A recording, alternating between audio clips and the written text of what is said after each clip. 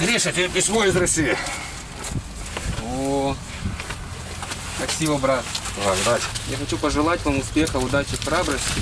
Никогда не сдавайтесь, не унывайте. Мы верим в вас.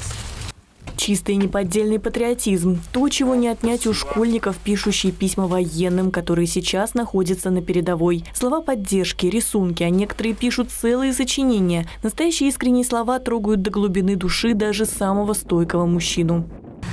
Очень приятно, конечно, когда в самую трудную минуту мы, находясь здесь, на самой горячей точке, всегда слышно приятно, когда нас поддерживают наши россияне, граждане.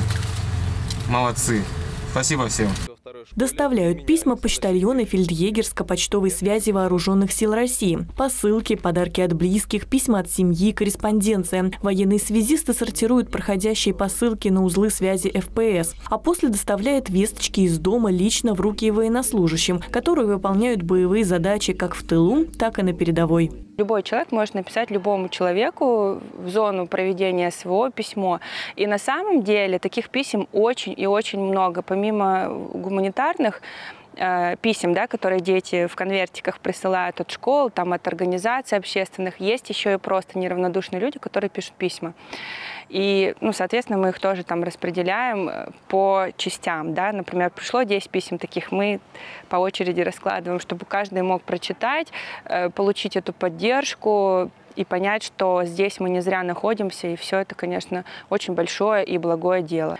Машины военных почтальонов ежедневно бывают на передовой. Здесь как никогда понимают, важнее связи с домом нет ничего. Бойцы готовы писать в ответ при любой возможности, а если есть несколько свободных минут между боевой работой, берутся за ручки. Отправить письмо на передовую может любой желающий в ближайшем отделении Почты России. В графе «Адрес» необходимо указать город Москва 400 и номер воинской части. Анна Тищенко, Улправда ТВ.